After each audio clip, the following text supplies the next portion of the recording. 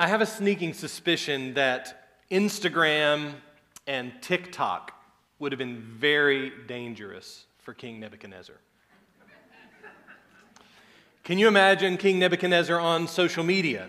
So we have, we have here an example of an inscription that Nebuchadnezzar put on a wall about one of his buildings. This is what he said I, Nebuchadnezzar, laid the foundation of the gates down to the ground water level and had them built out of pure blue stone.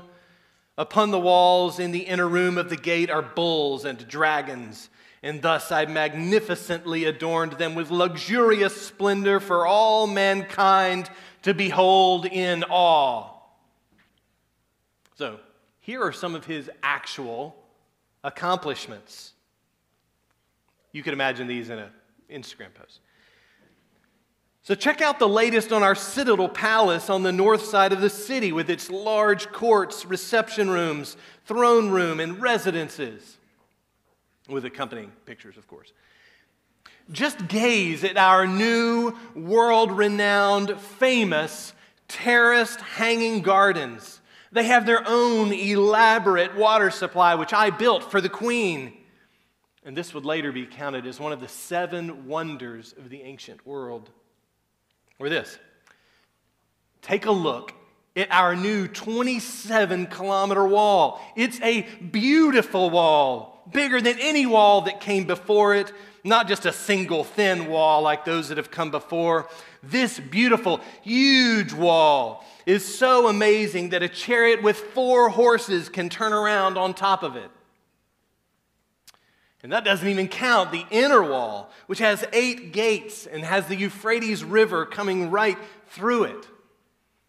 Or, have you seen our professional avenue paved with limestone and decorated with lion figures, which comes through the Ishtar gate, decorated with dragons and bulls?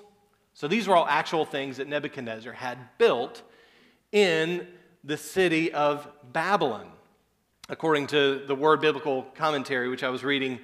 Uh, one commentator actually has 126 pages of text and translation just of the inscriptions that Nebuchadnezzar put on all the buildings that he had built and things that he did. So, based on the things he actually did, I'm imagining a couple of other uh, takes on social media. So here's a shout out from the most awesome leader in the most powerful empire on earth. You might hear from him. Or, hey, did you see the latest updates to the Ziggurat Tower? Those, that was all me. And eventually he's going to say this, and this is a quote from our text Is not this great Babylon which I have built with my mighty power as a royal residence and for the glory of my majesty. Social media would have been dangerous for Nebuchadnezzar. But at the moment that he says that, things are going to change for him. In fact, he's going to take a seven year break from social media at that point for his own good and for the good of the nations. So, this morning we're going to continue in our series through the book of Daniel, which we've called Faithful God's Character, Our Calling. And we'll be in chapters four and five. So, just as a warning, there's a lot of text today. We're going to spend more time actually reading text together. Uh, so, you'll want your Bible out and open to Daniel 4 and 5. And in both of these chapters, we're going to see several things that are common to both. We're going to see egregious sins against God. We're going to see some revelation from God to confront these sins. We're going to see some interpretation of this revelation from God and warning from the prophet Daniel. And then we'll see their response. And where the two paths are going to diverge significantly is the result of chapter 4 and the result of chapter 5. Where they end up is going to be very different, but the pattern is very similar throughout the text. And there are several key lessons that I hope that we can learn uh, as we read through these two chapters today and consider what God's word says to us. Some moral lessons, some things about our own attitudes and spiritual condition. But I don't want us to miss, as we do that, I don't want us to miss the overarching broad purpose of the book of Daniel. You see, the book of Daniel is not merely moral lessons for us, but it's rather an encouragement for God's people in the midst of exile.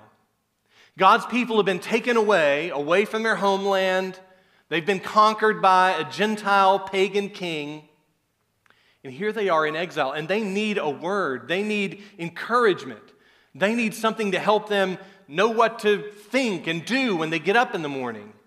And that's what the book of Daniel is going to do for them. Is it's not just a history of, of, of Judah in Babylon. It's, it's actually Daniel telling God's story of how he is over all things. So as we consider some of the moral lessons, remember the main lesson, which is God is in control. God is in control. God is able to tear down and raise up, to bind and to loose, to judge and to show mercy. His kingdom is over all the kingdoms of the earth. His kingdom is what matters, and His kingdom is everlasting. So, as we look through the text, we'll see three main things. In chapter 4, we'll see Nebuchadnezzar's pride. In chapter 5, we'll see Belshazzar's idolatry. And then we'll see this threat of judgment and thread of mercy, which goes through the whole passage. Let's pray again together. Oh God, we are in danger this morning. We're in danger of hearing but not heeding. We're in danger of being shown once more your greatness,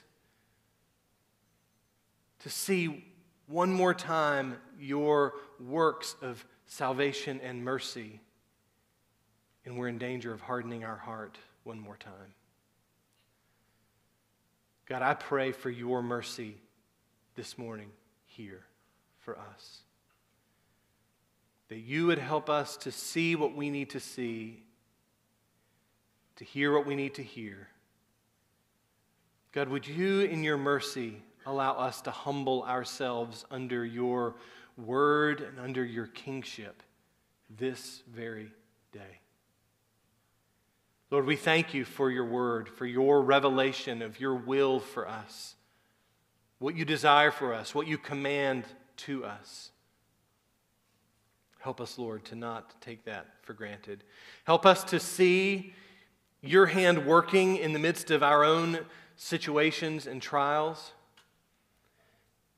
Give us the faith that we need to see that you're doing more than just one thing at a time as you work in our world. Help us to grasp that you're at work in our personal lives, in our families, in our communities, in our nation, and in the world to bring you glory. Lord, we sang of that glory this morning, that you reign forever and ever. So help us to lift our eyes to you as we hear your word today. In Jesus' name, amen.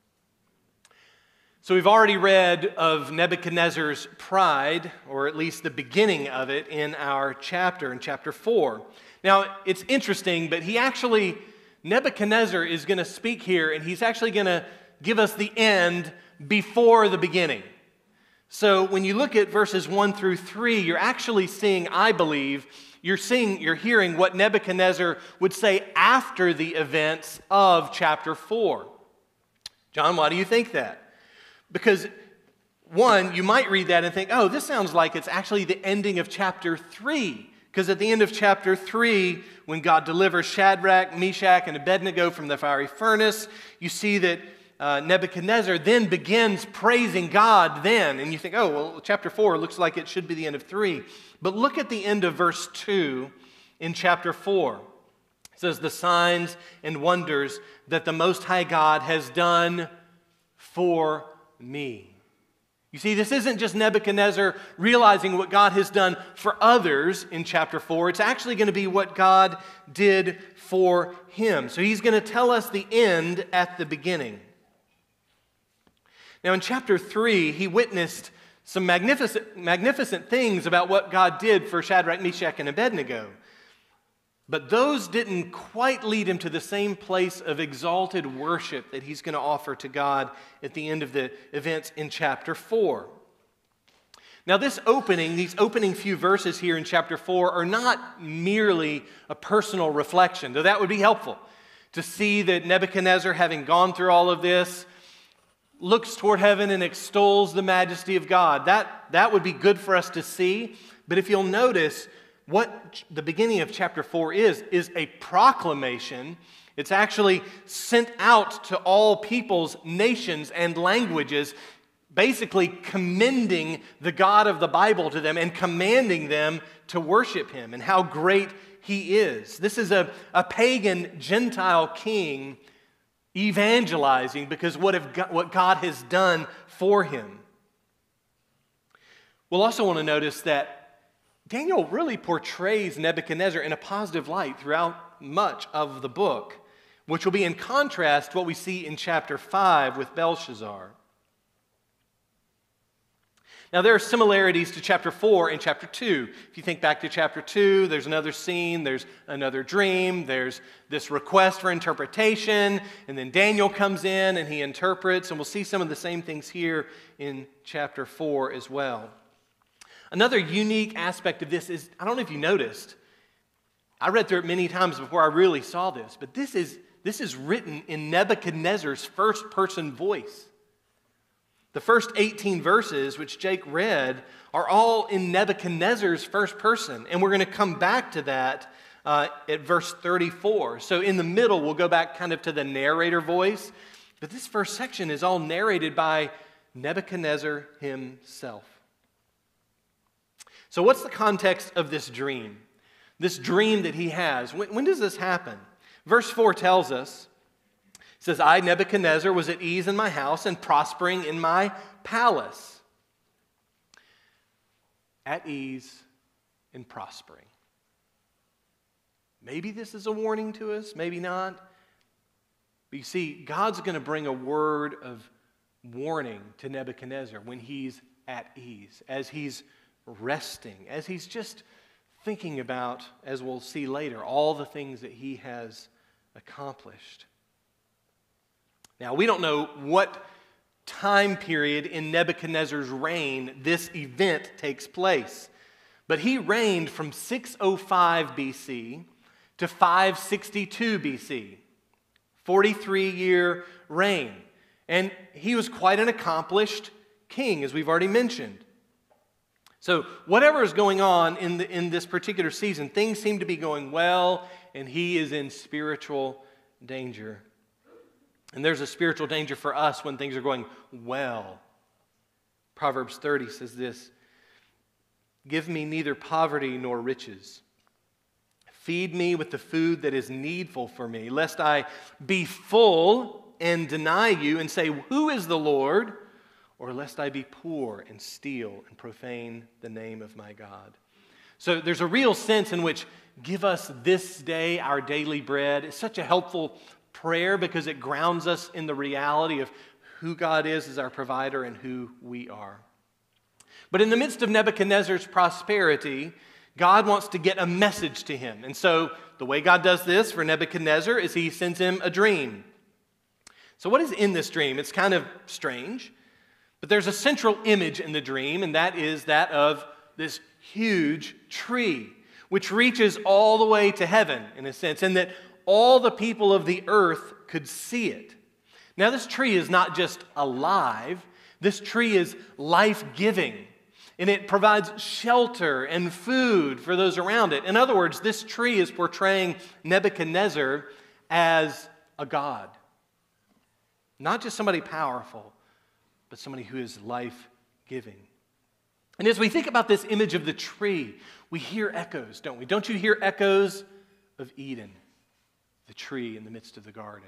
Or do you hear echoes of the Tower of Babel as they build a tower to try to stretch between earth and heaven? Remember, this is Babel. We're in Babylon, the same city.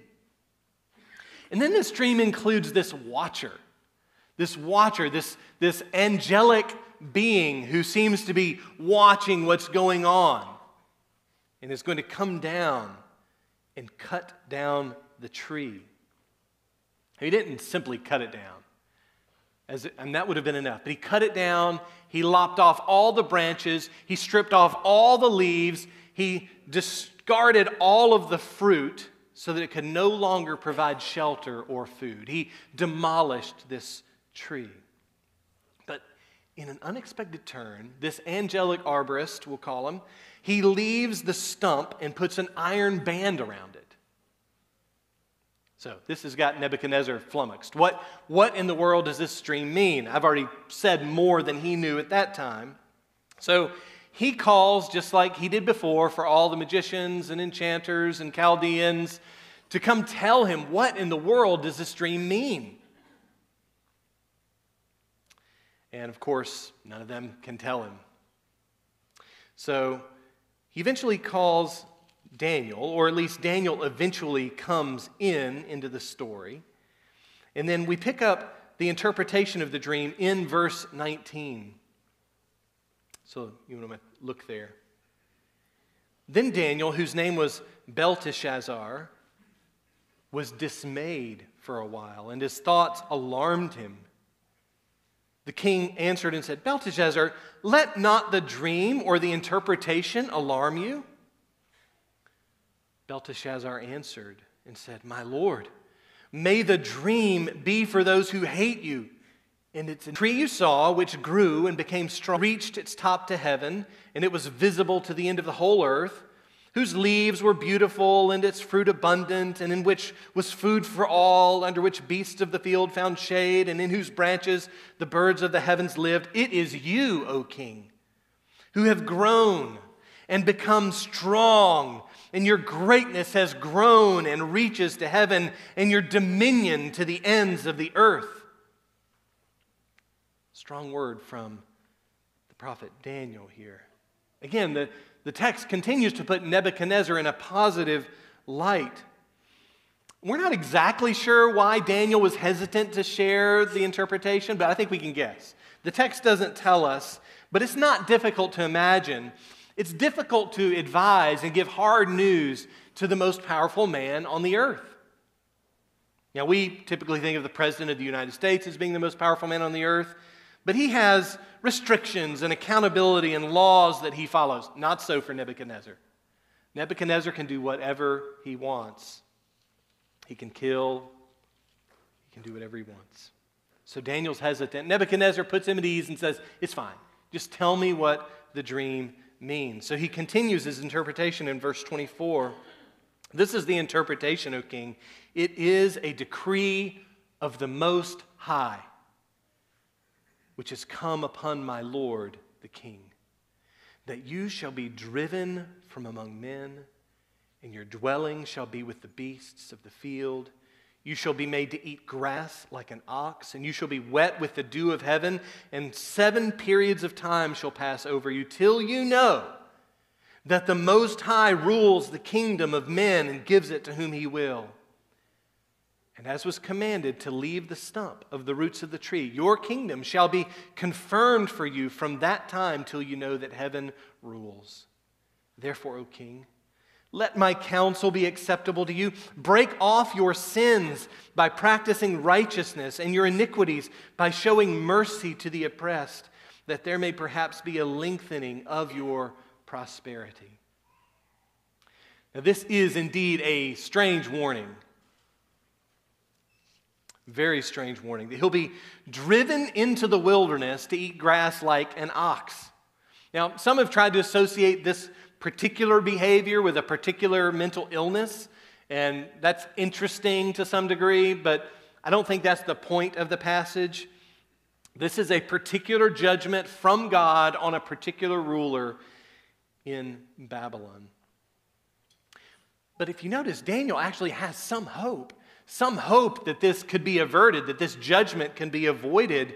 And he doesn't necessarily speak to specific sins of, of Nebuchadnezzar here, but he does mention things that good rulers should do practice righteousness. Practice righteousness and care for the oppressed. Show mercy to the oppressed. We don't actually know from the text if Nebuchadnezzar took these warnings to heart or not.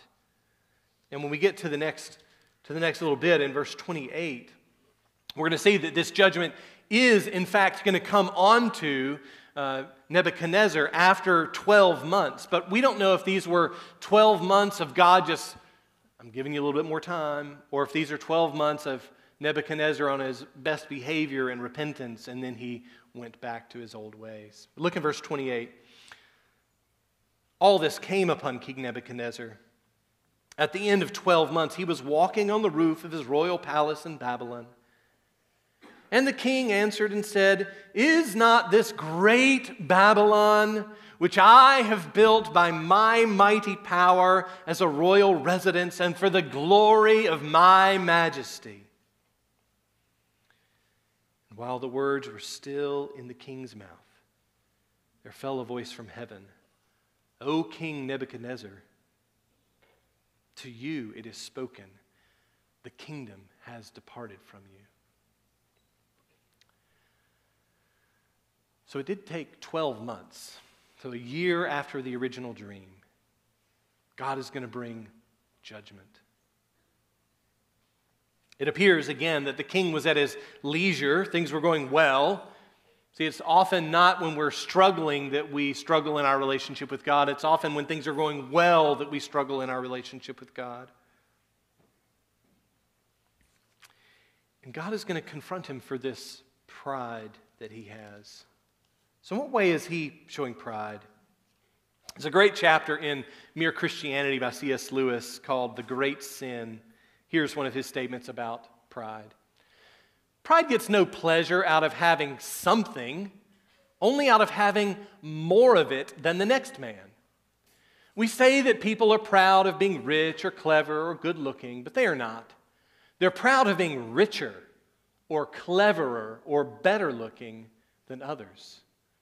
If everyone else became equally rich or clever or good looking, there would be nothing to be proud about. It is the comparison that makes you proud, the pleasure of being above the rest. See, Nebuchadnezzar was boasting about the things that he had done. But he wasn't just boasting in that, he was boasting in the glory that that should bring him. So Lewis is bringing out this idea that, that pride, in its essence, is about our comparison, our comparison with others, or perhaps in Nebuchadnezzar's case, our his comparison of himself with a deity. What about, what about us? Where does, where does pride find a resting place in our own heart as we compare ourselves to others? This is dangerous, dangerous stuff for us. This temptation goes all the way back to the Garden of Eden. You will be like God. This comparison. And of course, one of the great challenges for the sin of pride is that we so quickly and easily see the sin of pride in other people, and so rarely and deeply see it in ourselves. So, verse 33 says, Immediately the word was fulfilled against Nebuchadnezzar, and he was driven from among men and ate grass like an ox, and his body was wet with the dew of heaven until his hair grew as long as eagle's feathers and his nails were like birds' claws. So instead of Nebuchadnezzar humbling himself, God humbles him to the point of humiliation. He's not merely lowered below like other kings. He's, he's actually lowered below humanity itself with the life of a beast. Now, this is not the end for Nebuchadnezzar. Remember, there's still a stump in the dream, there's, there's an iron band around the stump. We don't really know what that's supposed to signify. Is that, is that somehow how he's going to be bound in this condition for seven years? Or is it that his, his kingdom is going to be kept safe until he returns to his senses? We're, we're not sure.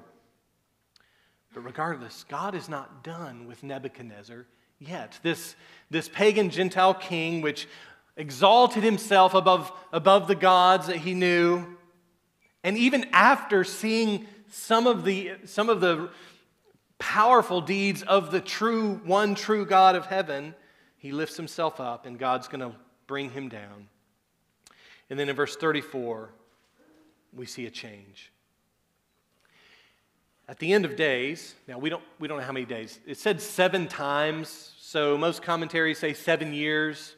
It was long enough for him to get really long fingernails and really long hair, but I don't, I don't know.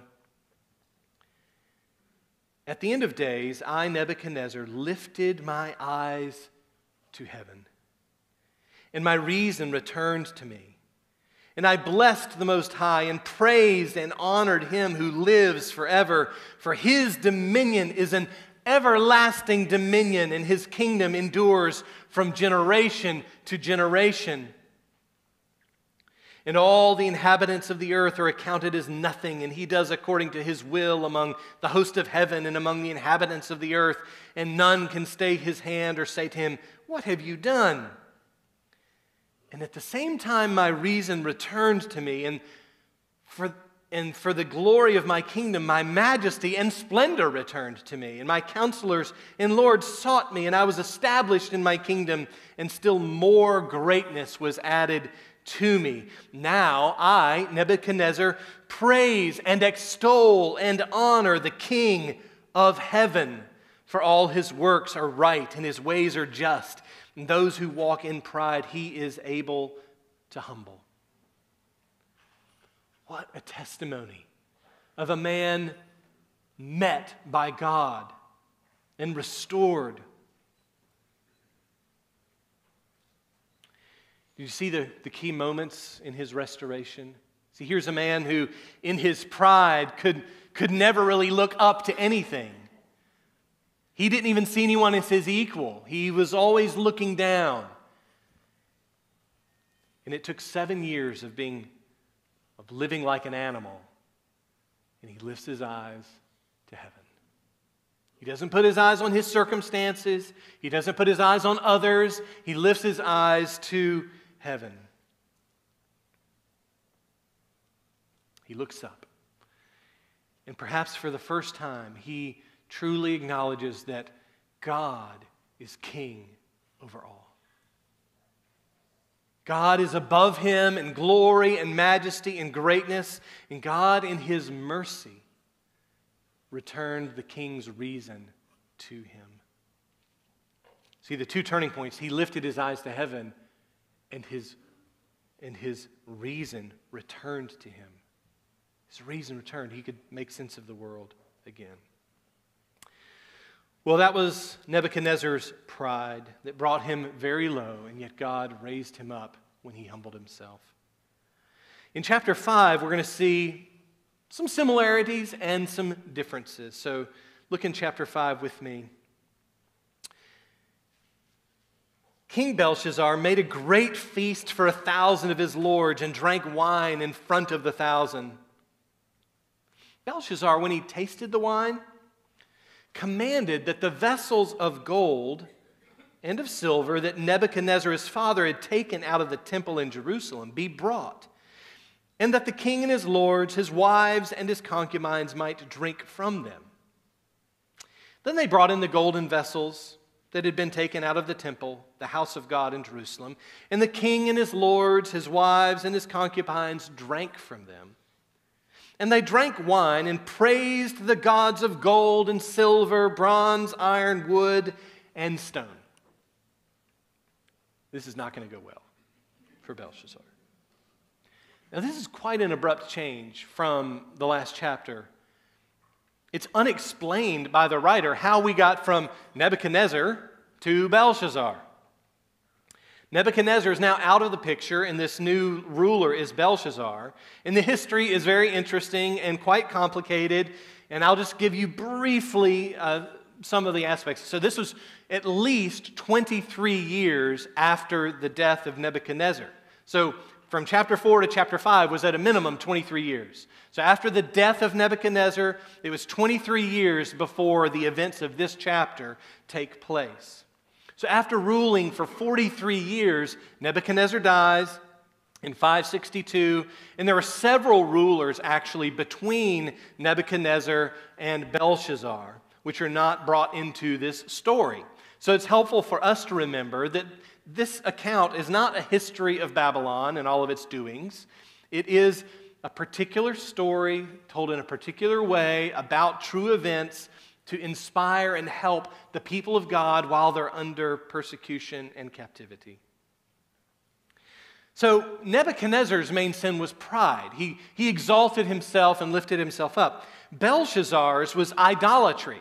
Now, we'll see blasphemy. So, he, he takes these golden and silver utensils that were brought out of the temple in Jerusalem. So, Nebuchadnezzar did that, but we have no record of Nebuchadnezzar committing idolatry in this same way with these vessels. So, he's, so, so Belshazzar's throwing this huge party, thousand people for this party, which in fact was not a great idea to do while the army of your enemy is approaching the city. Just saying, that's usually not when you should throw a big party. So he's throwing this party for a thousand people. He calls for the golden vessels. Not only do they drink from them, these vessels which were only meant to be used for worship in the temple in Jerusalem. So not only do they drink from them, but as they're drinking in these vessels wine, they profane them by praising their own false gods of gold, silver, bronze, iron, wood, and stone. So, as they're drinking in God's holy vessels, they're praising false gods. Now, last week, Phil mentioned that um, in his sermon from chapter 3 that sometimes it's hard for us to relate to the sin of idolatry. I mean, we don't typically raise our glass to the God of gold or silver or iron or stone or wood. We don't usually physically bow down to them. But in this context, when you think about what's happening, they're actually not bowing down to these false gods. They're celebrating and attributing their success to these things. So they're celebrating and attributing success to the gods of gold, silver, stone, wood, bronze, iron, etc. Now, this isn't that far from us to imagine. We, we can imagine celebrating the things which we think make us successful in ways that give more glory to those things than they actually deserve. How about liberty, autonomy, economy? political power, technical innovation. All of these things, when we're sitting around yucking it up, drinking a beer or some wine, can become some of the things that we attribute success to and that we put stock in as far as what makes us happy people. This is not that far off from what Belshazzar was doing. So, Belshazzar's throwing a big party. The enemy the enemy is, out, enemy is outside the gate. We don't know if he knew that or not, but he should have known it. And something happens. Something significant happens that's not the enemy yet. So at this point, look at verse 5. God doesn't speak to him through a dream, but something quite more sinister. Immediately, the fingers of a human hand appeared and wrote on the plaster of the wall of the king's palace opposite the lampstand. And the king saw the hand as it wrote. Then the king's color changed, and his thoughts alarmed him, and his limbs gave way, and his knees were knocking together. This is an awkward moment. This is an awkward moment for Belshazzar. So he is terrified. So if you think of some circumstance where you would be terrified, this is it for Belshazzar and um, goosebumps, fear, like all the fight or flight emotions would be going on through him. And in fact, the Aramaic is a bit interesting in verse 6. For his limbs gave way. That's not a very accurate translation. It literally says, the knots of his loins were loosed. I'm just saying, it's quite possible that he messed his pants in this moment. Just think of it. Think of that, think of that moment where a hand, a hand is just writing a bodiless hand on the wall. And it's bad enough that there's a handwriting on the wall. That's scary. It's awkward. but they don't know what it means. They don't know what it says. So, like his father, Nebuchadnezzar, he calls for all the magicians, the wise men, the Chaldeans, the astrologers, anybody who could tell him what this means, and none of them could. None of them could. It's not a surprise to us as we're reading the story, but just think how desperate this makes him as a ruler. Verse 9. This is after they, they cannot interpret it. The king Belshazzar was greatly alarmed, and his color changed, and his lords were perplexed. And then the queen, and this is perhaps the queen mother, his, his wives were already there, so this is perhaps the queen mother, because of the words of the king and his lords, came into the banqueting hall, and the queen declared, O king, live forever. That's not going to happen. Uh, let not your thoughts alarm you or your color change. There is a man there is a man in your kingdom in whom is the spirit of the holy gods. In the days of your father, light and understanding and wisdom, like the wisdom of the gods, were found in him. And King Nebuchadnezzar, your father, your father the king, made him chief of all the magicians, enchanters, Chaldeans, and astrologers, because an excellent spirit, knowledge, understanding to interpret dreams, explain riddles, and solve problems were found in this Daniel, whom the king named Belteshazzar. Now let Daniel be called, and he will show you the interpretation. Now, we're not sure why Daniel wasn't called with the earlier wise men, but remember, this is 23 years at least after Nebuchadnezzar. Daniel at this point is either somewhere between 80 and 85 years old. And it's possible that Belshazzar didn't really want the guy who was around when Nebuchadnezzar became like living like a beast. Like it's possible he wasn't really a fan. But eventually, in verse 13, Daniel was brought before the king, and the king answered and said to Daniel, You are Daniel. You're that Daniel. Now, Daniel means the God who judges, right? One of the exiles of Judah, whom the king, my father, brought from Judah. I've heard of you that the Spirit of God's is in you, and that light and understanding and excellent wisdom are found in you. Now, in some ways, I want to read this as if Belshazzar is being positive toward Daniel. But part of me really thinks he's saying something like, Oh, you're that Daniel. You're one of those exiles of the Jews that we conquered and brought from Judah. I've heard of you. But he does, he has heard some things. So, what is Daniel going to do, this 80 or 85 year old man, going to do for Belshazzar? Well, like any old man, he's going to give him a history lesson and then tell him what he wants to know. So, sorry. We've honored older people in the, in the church, and I really appreciate that. I need history lessons. Just saying. So, verse 17, Daniel answered and says before the king, Let your gifts be for yourself. He doesn't want the king's gifts. And give your rewards to another. Nevertheless, I will read the writing for the king and make known to him the interpretation. Verse 18, O king, the Most High God gave Nebuchadnezzar your father kingship and greatness and glory and majesty. Notice who gave it to him? The Lord Most High.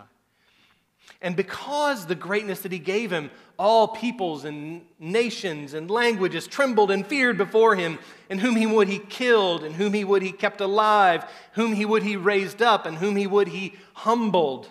But when his heart was lifted up and his spirit was hardened, and he dealt proudly, he was brought down from his kingly throne, and his glory was taken away from him.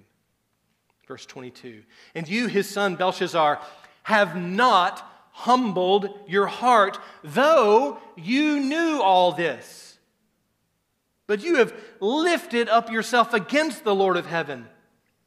And the vessels of his house have been brought in before you, and your lords, and your wives, and your concubines, and you've drunk wine from them, and you have praised the gods of silver and gold and bronze and iron and wood and stone, which do not see or hear or know, but the God in whose hand is your breath and whose are all your ways you have not honored. This is before he even tells him what it means. It's a stinging rebuke. It doesn't have the same flavor of patience that Daniel had with Nebuchadnezzar. I wonder if Daniel didn't have the same respect for this young ruler who didn't seem to be doing anything than, other than partying. But the key for us is verse 22. So please, this is a warning for us, it's a warning for me. You have not humbled your heart, though you knew all this. See, knowledge was not enough for Belshazzar. So you could say, you should have known better, but actually, it's you do know better, and yet you did not change. This is a danger to us who have such a rich heritage of hearing God's word preached and proclaimed, of knowing God's will and knowing God's commands and knowing God's expectations of those who would follow him as disciples. Do not deceive, we must not deceive ourselves into thinking that God will not hold us to account to do according to what we know is true. So Daniel does give the interpretation, which the other wise men could not do in verse 24. He runs, so this is when the hand was sent, and this is the writing as was inscribed. Verse 25, this is the writing that was inscribed mene, mene, tekel, and parsin. This is the interpretation of the matter. Mene. God has numbered the days of your kingdom and brought it to an end. Tekel, you have been weighed in the balances and found wanting. In Peres, your kingdom is divided and given to the Medes and the Persians. We're not entirely sure why the wise men of the Chaldeans couldn't read this. It would have been in Aramaic. But it seems there were three words, and each of the words had three letters. And if you read them as nouns, it's just units of money, going from larger to smaller. Daniel seems to apply different vowels to these consonants and read them as verbs and kind of makes a word play out of them to come up with a different meaning that is one of judgment on Belshazzar. One commentary kind of says it this way God has Belshazzar's number. He's a lightweight, and his kingdom will split, or in short, you are finished, flimsy, and fractured. That may be a little too cavalier. But God, God has looked down and numbered Belshazzar's days. In other words, judgment is coming. Judgment is coming. He's been weighed and found wanting. Peres or parsin is sounds like the same word for Persia, which is about to come in take over. So, what happened next? He's received this warning. He, he actually gives to Daniel the robe and the power, third, third in the kingdom. It's likely that Belshazzar was actually a co regent and not actually the king. His father was the king. So, third in power would have been Daniel. Not that it really matters because, well, look what's going to happen. So in verse 30, that very night Belshazzar the Chaldean king was killed, and Darius the Mede received the kingdom, being about 62 years old. Now, why does he give us the age of Darius? We're not sure, but it's been about 62 years at this point since Babylon took Judah captive. So it's almost like Daniel saying, oh, by the way, he was born when you took over. God's been preparing Darius to take this kingdom away since it started. God rules over all things, He rules over all kingdoms. God is in charge. And one of the ironies is that Belshazzar was holding a huge feast while his enemies were knocking at the door. So eventually the Medes, they, they divert part of the river, come in through the wall, take over. So there's this threat of judgment throughout this passage for both Nebuchadnezzar and Belshazzar. This threat that if you don't repent, if you don't turn, if you don't change your ways, judgment is coming. And we see in Nebuchadnezzar, God lowered him so low that he had to look up and God restored him. But we see with Belshazzar that God had numbered his days and brought judgment. He did not know tonight is the night I'm going to take your life. But not only is there a threat of judgment, I, what I want us to consider as we close here is there's a thread of mercy that just goes all throughout this passage. There's mercy through providence. God, God puts people in the place where He needs them and he, where He wants to use them. And all of the things that were going on in Nebuchadnezzar's life or in Belshazzar's life or in Daniel's life or in the lives of Shadrach, Meshach, and Abednego, throughout all the kingdom, God is moving things in His providence for His glory and majesty. God's, God's working through a pagan king who is the king of the most powerful empire that the world had known to that point. God shows mercy through his providence. God also shows mercy through revelation. You see, in, in both of these kings' lives, God sends a message. God sends a message that they should pay attention to and listen to and heed and obey. And this is God's mercy. God did not have to do that. God could have simply brought judgment on them because of their sin, but instead, He speaks.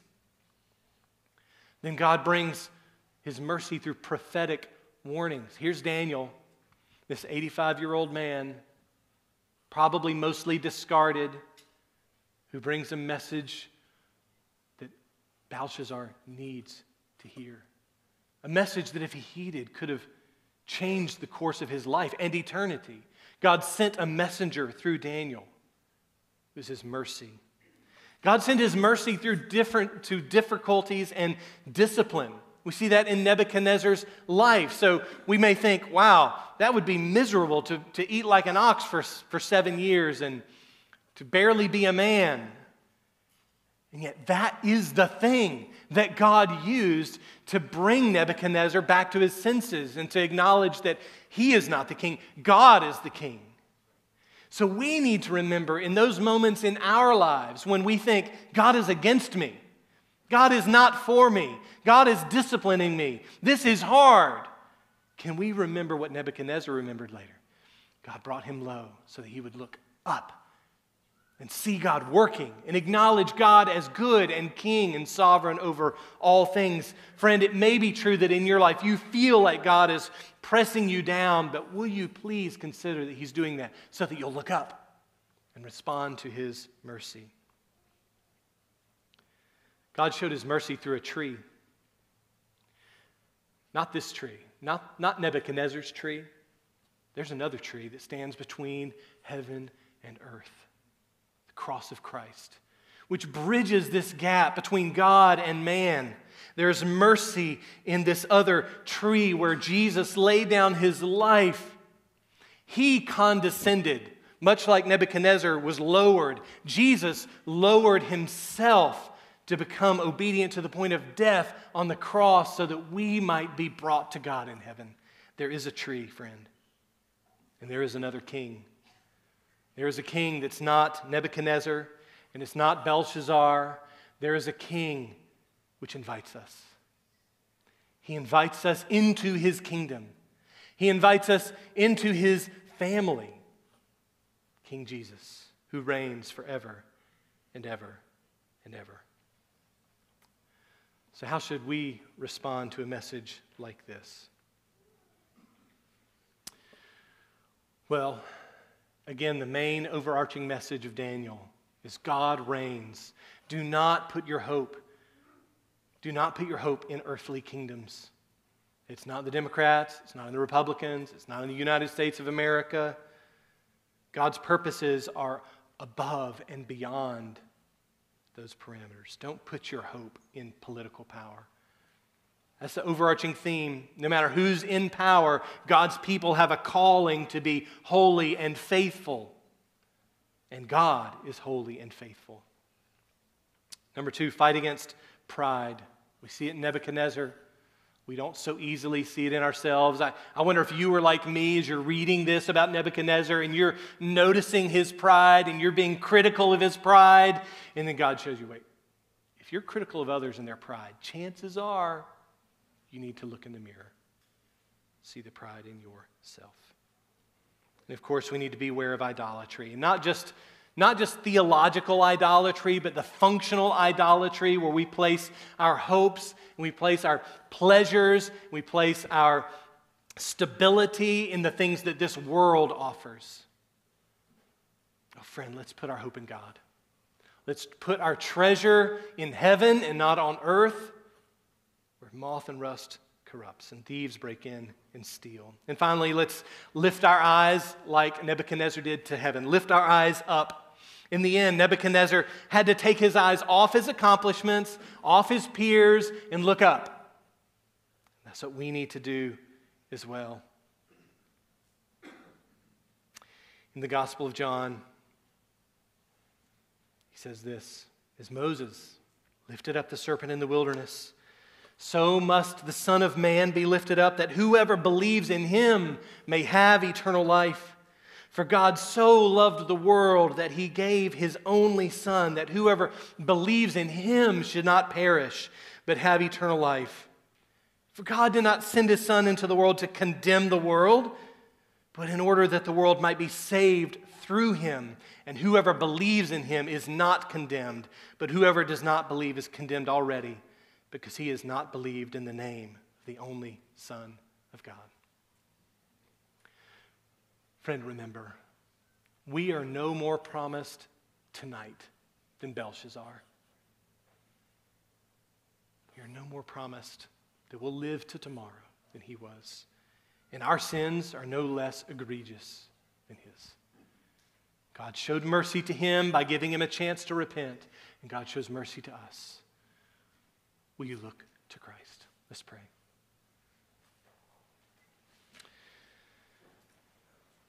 Oh God, you are able to bring low the proud. You oppose the proud, but you give grace to the humble. God, help us. Help me. Help us to humble ourselves before you and before others. God, help us, even just today, to look for ways to purposefully humble ourselves, to serve you, to acknowledge you as King to serve others, to acknowledge they're made in your image. And God, help us to lift up our eyes off of our circumstances, off of our accomplishments, off of our value and worth or our rights, and onto the King who lives forever and ever, who reigns above all things, who will reign forever and ever. And we praise your name. Amen.